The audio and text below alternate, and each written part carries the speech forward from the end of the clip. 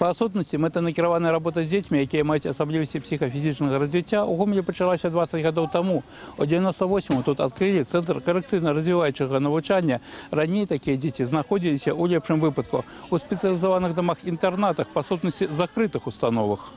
У 98-м быў створаны і першы ў гомелі банк дадзеных дзяцей з асаблівасцямі развіцця. Да гэтага рэальнай сітуацыі па сутнасці ніхто не ведаў. Сёння ў абласным цэнтры такіх дзяцей каля сямі з паловай тысяч. Сярод самых цяжкіх захворванняў аўтызм, калі дзіця не ўспрымае навакольнае асяроддзе, а таксама цэрэбральны параліч, але і яны зараз не застаюцца без увагі з боку спецыялістаў. В последнее время все меньше и меньше стало детей обучаться на дому. В основном это та категория детей, которая по каким-то причинам, в соответствии со своими нарушениями, не может посещать детский коллектив.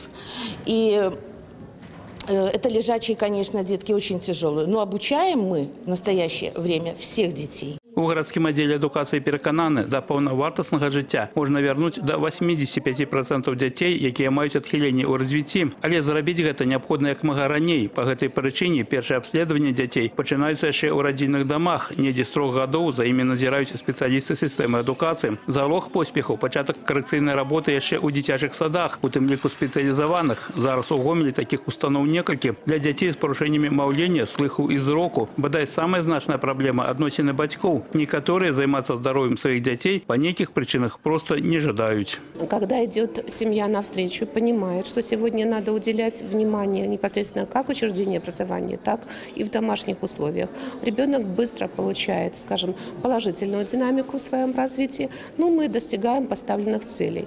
Вместе с тем, не всегда, э, в общем-то, понимают родители, как важно вот на первоначальном этапе создать все необходимые условия, чтобы ребенок получал коррекцию. Олег Сентюров, Игорь Марыщенко, телерадиокомпания «Гомель».